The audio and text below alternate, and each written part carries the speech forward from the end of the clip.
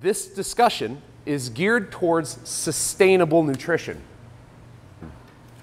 Okay? I want to give you guys some strategies. I want you to be able to walk away with some strategies that's going to improve your nutrition, your health, your lifestyles, and make it so that nutrition isn't, there's no barriers to entry.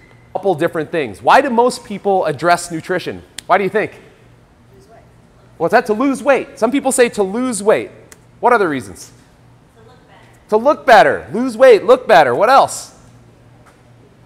Say it loud. Don't be embarrassed. Come on. Yeah, increase performance. How about to put on a little muscle mass? Hey, I want to lower my triglycerides. Hey, uh, my doctor said my LDL cholesterol is too high. The ratio for my HDL and LDL to my triglyceride count is too high. There's a lot of different reasons, but it really boils down to three things. Three big ticket items. Number one, nutrition is protective of health. We also want to see that you're performing well and you have sustained energy throughout the day. We call that performance. And that's another reason why a lot of people address nutrition. The same is true in the gym. You guys can improve your fitness inside of the gym so easily by simply addressing the food that's going in your face.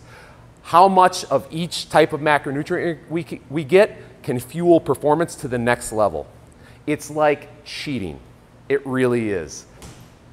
Okay? The last reason that most people address nutrition is for vanity reasons. Okay? Now, there's nothing wrong with this. Don't be ashamed of this either. Okay? People want to look good naked. Okay? All right? Plain and simple. Now, we're going to take these three reasons and we're going to build a, uh, a plan to address them. Okay? The first plan comes to addressing the, uh, the quality of your food.